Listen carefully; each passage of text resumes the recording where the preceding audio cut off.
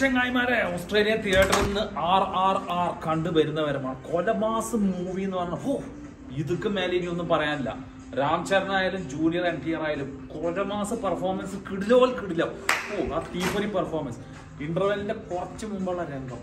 അടിപൊളി. എങ്ങനെയുണ്ട്? എങ്ങനെയുണ്ട് R R R cinema? Very good awesome ഇത് അടിപൊളിയാണോ? Okay. Thank you out and out commercial movie. Very nice. എല്ലാവരും എല്ലാരും തിയേറ്ററിൽ പോയി കാണാം ഒരു രക്ഷയില്ല. വി എഫ് എക്സ് ആക്ഷൻ രംഗങ്ങൾ ആ നാട്ടു നാട്ടു ആ ഡാൻസ് പിന്നെ വേറെയും കുറെ ഡാൻസ് ഉണ്ട്. ഒരു രക്ഷയില്ല മക്കളെ.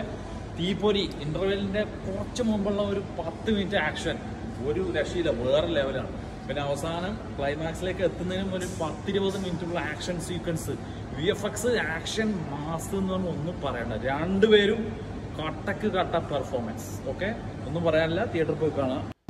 അജയ് ദേവ്ഗണ്ണും ആലിയ ഭട്ടും തങ്ങൾക്ക് കിട്ടിയ വേഷം വളരെ ഭംഗിയായി തന്നെ ഈ സിനിമയിൽ അവതരിപ്പിച്ചിട്ടുണ്ട്.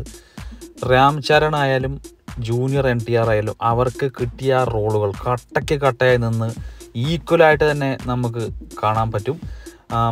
ആരാണ് മുന്നിലെന്ന് പറയാൻ തന്നെ നമുക്ക് ഡൗട്ടാണ് അത്രയും സംശയകരമായ രംഗങ്ങളാണ് ഈ ചിത്രത്തിൽ നമുക്ക് കാണാൻ പറ്റുക. ഇന്റർവെല്ലിന് ശേഷം കുറേ ഭാഗങ്ങൾ രാം ചരൺ രാമനായി നമ്മളുടെ ശ്രീരാമനായിട്ട് കുറേ ചെയ്ത പോലെ എനിക്ക് തോന്നി.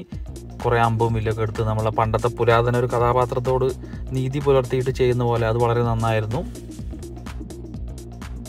ആർ ആർ ആറിൽ രാം ചരൺ ഒരു സ്റ്റെപ്പ് മുകളിൽ നമ്മളുടെ ജൂനിയർ ടിയറിനേക്കാൾ മുന്നിൽ മികച്ചു നിന്നു എന്ന് വേണമെങ്കിൽ പറയാം.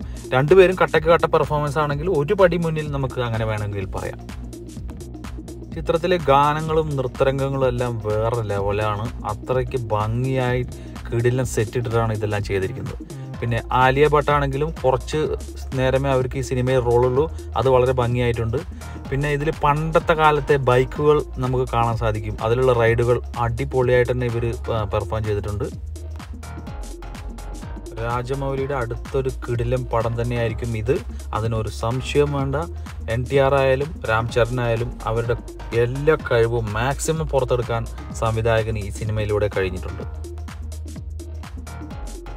ഇതിലെ വി എഫ് എക്സ് രംഗങ്ങളും ആക്ഷൻ രംഗങ്ങളും പിന്നെ കുറേ സെറ്റുകൾ കാണാം കുറേ സീനിക് പ്ലേസസ് ഉണ്ട്. അതെല്ലാം വളരെ ഭംഗിയായിട്ടാണ് ഇവർ ചെയ്തിരിക്കുന്നത്. പിന്നെ ഇപ്പോൾ ഇത് ഈ ചിത്രത്തിൽ കാണുന്ന പോലുള്ള ശ്രീരാമന്റെ ആ രൂപം വന്ന ആ അമ്പും വില്ലും എടുത്തിട്ടുള്ള ആ ഭാഗങ്ങളെല്ലാം അടിപൊളിയാണ്. അങ്ങനെ ആർ ആർ ആർ ഒരു മഹാവിജയമായി തരട്ടെ ഓൾ ദി ബെസ്റ്റ്